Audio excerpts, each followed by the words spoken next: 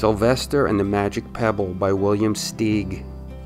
Sylvester Duncan lived with his mother and father at Acorn Road in Oatsdale. One of his hobbies was collecting pebbles of unusual shape and color.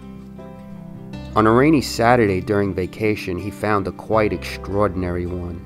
It was flaming red, shiny, and perfectly round, like a marble. As he was studying this remarkable pebble, he began to shiver, probably from excitement, and the rain felt cold on his back. I wish it would stop raining, he said. To his great surprise, the rain stopped. It didn't stop gradually as rains usually do, it ceased. The drops vanished on the way down. The clouds disappeared. Everything was dry. The sun was shining as if rain had never existed. In all his young life, Sylvester had never had a wish gratified so quickly. It struck him that magic must be at work and he guessed the magic must be in the remarkable looking red pebble, where indeed it was. To make a test, he put the pebble on the ground and said, I wish it would rain again. Nothing happened. But when he said the same thing holding the pebble in his hoof, the sky turned black. There was lightning and a clap of thunder, and the rain came shooting down. What a lucky day this is, thought Sylvester. From now on, I can have anything I want. My father and mother can have anything they want. My relatives, my friends, and anybody at all can have everything anybody wants. He wished the sunshine back in the sky, and he wished a wart on his left hind fetlock would disappear, and it did. And he started home, eager to amaze his father and mother with his magic pebble. He could hardly wait to see their faces. Maybe they wouldn't even believe him at first.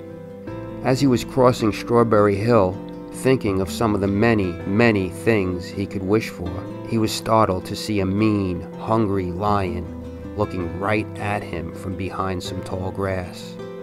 He was frightened. If he hadn't been so frightened, he could have made the lion disappear, or he could have wished himself safe at home with his father and mother. He could have wished the lion would turn into a butterfly, or a daisy, or a gnat. He could have wished many things, but he panicked and couldn't think carefully. I wish I were a rock, he said, and he became a rock. The lion came bounding over, sniffing the rock a hundred times, walking around and around it, and went away confused, perplexed, puzzled, and bewildered. I saw that little donkey as clear as day, Maybe I'm going crazy, he muttered. And there was Sylvester, a rock on Strawberry Hill, with the magic pebble lying right beside him on the ground, and he was unable to pick it up. Oh, how I wish I were myself again, he thought, but nothing happened. He had to be touching the pebble to make the magic work, but there was nothing he could do about it. His thoughts began to race like mad. He was scared and worried. Being helpless, he felt hopeless. He imagined all the possibilities, and eventually he realized that his only chance of becoming himself again was for someone to find the red pebble and to wish that the rock next to it would be a donkey. Someone would surely find the red pebble, it was so bright and shiny. But what on earth would make them wish that a rock was a donkey? The, the chance was one in a billion at best. Sylvester fell asleep. What else could he do? Night came with many stars. Meanwhile, back at home, Mr. and Mrs. Duncan paced the floor, frantic with worry. Sylvester had never come home later than dinner time. Where could he be? They stayed up all night, wondering what had happened, expecting that Sylvester would surely turn up by morning. But he didn't, of course. Mrs. Duncan cried a lot and Mr. Duncan did his best to soothe her. Both longed to have their dear son with them. I will never scold Sylvester as long as I live, said Mrs. Duncan, no matter what he does. At dawn, they went about inquiring of all the neighbors. They talked to all the children, the puppies, the kittens, the colts, the piglets. No one had seen Sylvester since the day before yesterday. They went to the police. The police could not find their child. All the dogs in Oatsdale went searching for him. They sniffed behind every rock and tree and blade of grass, into every nook and gully of the neighborhood and beyond, but found not a scent of him. They sniffed the rock on Strawberry Hill, but it smelled like a rock. It didn't smell like Sylvester.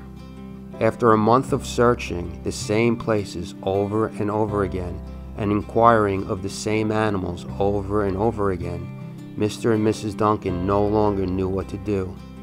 They concluded that something dreadful must have happened and that they would probably never see their son again, though all the time he was less than a mile away. They tried their best to be happy, to go about their usual ways, but their usual ways included Sylvester, and they were always reminded of him. They were miserable. Life had no meaning for them anymore. Night followed day, and day followed night over and over again. Sylvester on the hill woke up less and less often. When he was awake, he was only hopeless and unhappy. He felt he would be a rock forever and he tried to get used to it. He went into an endless sleep. The days grew colder. Fall came with the leaves changing color. Then the leaves fell and the grass bent to the ground. Then it was winter. The winds blew this way and that. It snowed. Mostly the animals stayed indoors, living on the food they had stored up. One day a wolf sat on the rock that was Sylvester and howled and howled because he was hungry. Then the snow melted, the earth warmed up in the spring sun, and things budded. Leaves were on the trees again, flowers showed their young faces. One day in May, Mr. Duncan insisted that his wife go with him on a picnic. Let's cheer up, he said. Let us try to live again and be happy, even though Sylvester, our angel, is no longer with us. They went to Strawberry Hill. Mrs. Duncan sat on the rock. The warmth of his own mother sitting on him woke Sylvester up from his deep winter sleep. How he wanted to shout, Mother, Father, it's me, Sylvester, I'm right here. But he couldn't talk. He had no voice. He was stone dumb. Mr. Duncan walked aimlessly about while Mrs. Duncan set out the picnic food on the rock alfalfa sandwiches, pickled oats, sassafras salad, Timothy compote. Suddenly, Mr. Duncan saw the red pebble. What a fantastic pebble! he exclaimed. Sylvester would have loved it for his collection. He put the pebble on the rock. They sat down to eat. Sylvester was now as wide awake as a donkey that was a rock could possibly be. Mrs. Duncan felt some mysterious excitement. You know, Father, she said suddenly, I have the strangest feeling that our dear Sylvester is still alive and not far away. I am! I am! Sylvester wanted to shout, but he couldn't. If only he had realized that the pebble resting on his back was the magic pebble. Oh, how I wish he were here with us on this lovely May day, said Mrs. Duncan. Mr. Duncan looked sadly at the ground. Don't you wish it too, Father? she said.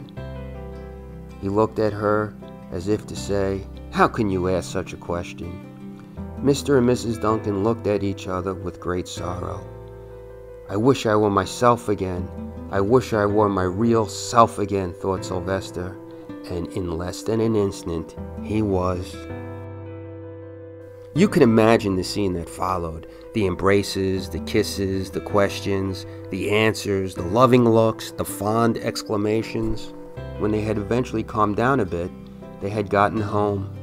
Mr. Duncan put the magic pebble in an iron safe.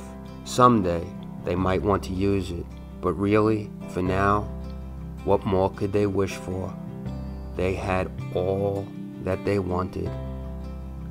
The end.